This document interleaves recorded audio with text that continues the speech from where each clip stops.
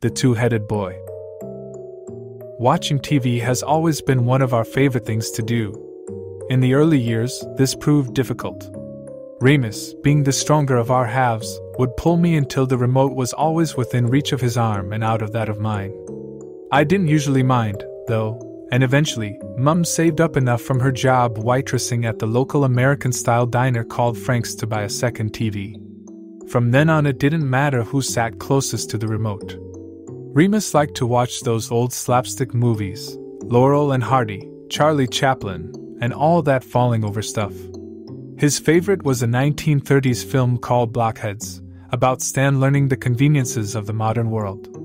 He'd laugh maniacally again and again as he hit rewind on the remote to watch the whole thing over. I can't stand that movie, but hearing Remus laugh was nice. When your brother can't speak, it's sometimes hard to know how he's feeling, but when he's laughing, I know he's happy. We were born on the 7th of July 1994 by emergency C section. It hadn't been a surprise when we came out. The doctors had already informed my mother of our condition, which they had picked up, to the delight of the medical world, via ultrasound. Woman gives birth to two headed boy, the headline in the local newspaper, the Colchester Gazette, had read. We spent the first two years of our life in hospital before we were allowed to move into a council owned flat near my mother's parents. I have no real memory of any of this, but Mum would tell us how people from all over the world would come to the hospital and even knock on the flat door to get a look at us. My earliest memory is of going to school for the first time. Mum helped us into the classroom and sat us both down on a seat near the front of the class before placing a kiss on each of our heads and leaving. Mrs. Neer, the reception class teacher, then made each of the children stand up and say their name. When it was our turn, Remus hadn't wanted to stand. I can only guess this is because he knew he wouldn't be able to say his own name. With my right arm pushing on the table, I tried to get us to stand up, but Remus wasn't moving and he pinched my thigh from out of sight. It's okay, dear. Mrs. Neer had said softly from where she sat behind her desk. What are your names? Hello, I'm Romulus, and this is my brother Remus.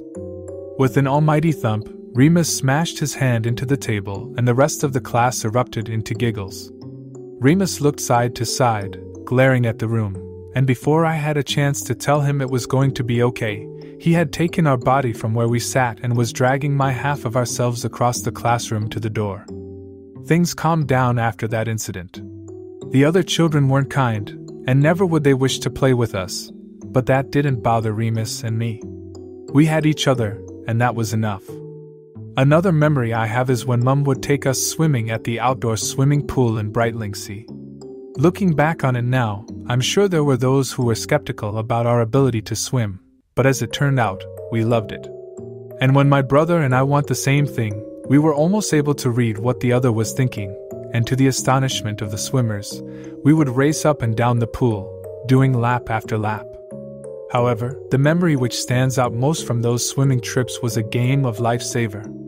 This was a game where we would sink to the bottom of the pool and then, taking turns, one of us would swim the other to the surface. I wasn't strong enough to get myself and Remus to the surface, so when it was my turn, Remus would kick with his leg to help.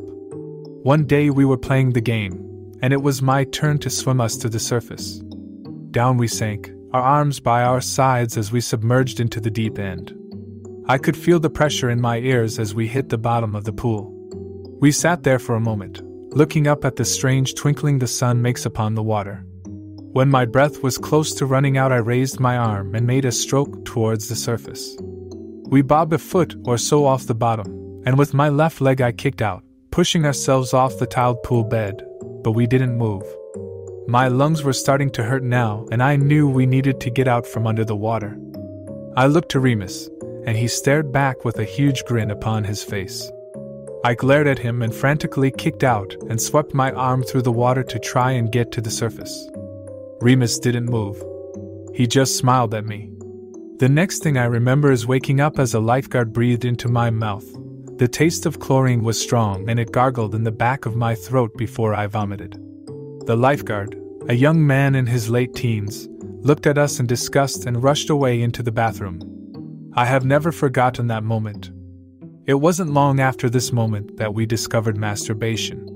We knew about sex, who didn't in this day and age? But masturbation was something completely foreign to us. I mean, sure, we had woken up with a stiff dick for months now, but none of us had mentioned it in any sort of way. We had overheard Sean Hart, a boy in our ninth grade class, whispering about it to some other boys at the back of our science class. Give it a good tug, were his words, and a few nights later we did. Mum was working the late shift at Frank's, where she was now a supervisor.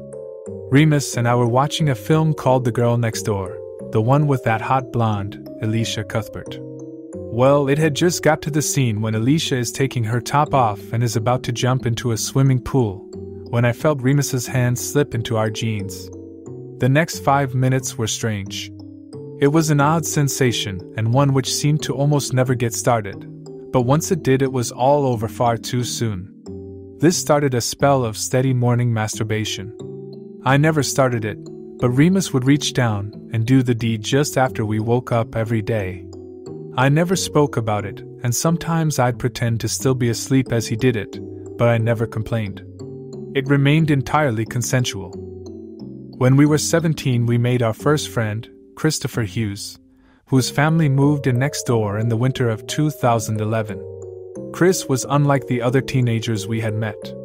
He never looked at us with pity, nor did he seem afraid of or put off by our appearance.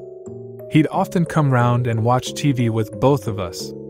Remus liked him, too, and would hold his hand, and they would both cheer as they watched that scene where Chaplin is roller skating.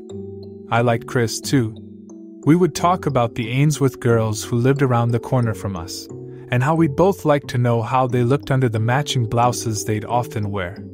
Remus didn't like this, however. He'd pinch me whenever the subject came up and would grab Chris's hand. The masturbation continued, where Remus was pumping up to four or five times a day, whenever he could get a free moment away from Mum. He had become addicted to it, and even when our dick hurt, he couldn't help himself. I liked it too. In 2012, we turned 18 and Mum held a party. Even one of the doctors who had been at our birth came and congratulated us. A few of the older ladies who worked at Frank's came and brought presents, mostly DVDs of old movies, probably based on Mum's suggestions. The only real friend of ours who turned up was Chris. As soon as the door opened, Remus dragged me over to him and embraced him in the hallway. Eventually, we sat down, blew out the candles on the cake, which is much easier with two heads, and said goodbye to our guests. I watched as Chris spoke to my mother in the kitchen about something. She nodded, and he ran over to where we were sitting. Boys, he began, and cleared his throat. Men, I have something to show you. We followed Chris outside, and on his driveway next to ours was a car. It wasn't anything fancy, a bright red Fiesta with a dent in the driver's side door. My new ride. He held open his arms as we took in the spectacle. Remus grunted in excitement. How about we take her for a spin? Remus looked at me, and I looked at Mum, who was watching from the front door. She nodded, and before I had time to turn my head back, Remus was climbing into the passenger side front seat. We cruised along the mostly empty streets, out of the town, and to a local reservoir where we finally got out and sat on the hood of the car talking about the night. Here, Chris said. I have something to show you. He jumped off the hood of the car and fuddled about for something in the back seat, and then pulled it out a bra. I laughed. Where did you get that from? I demanded to know. Amy Ainsworth. Chris stated proudly. Did you? I asked, desperate to know.